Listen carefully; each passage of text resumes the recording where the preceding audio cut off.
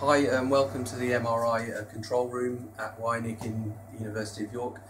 As we were scanning today I thought it'd be great to take the opportunity to show you fMRI in action. So right now um, we're in the control room. Um, this is uh, Jeff and uh, Afi who are MSc students on the Cognitive Neuroscience course here and they're running the science session today as part of their, their project. And what you can see on the screen here is what our participant is looking at. A blank screen at the moment is being projected into the uh, scanner and then they're looking at blocks of pictures like this which might be uh, scenes. Um, I'll tell you a little bit more about the experiment later.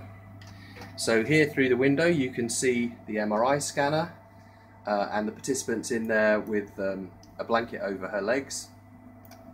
And here on the on the screen here you can see uh, the MRI data coming in. And just down here at the bottom you can see the uh, bold signal changes in, in one little tiny voxel or tiny little section of the of the brain there as the data is coming in. So it's going up and down just as I, I say.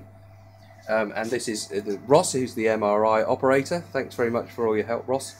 Um, so that's just a tiny little glimpse of MRI in action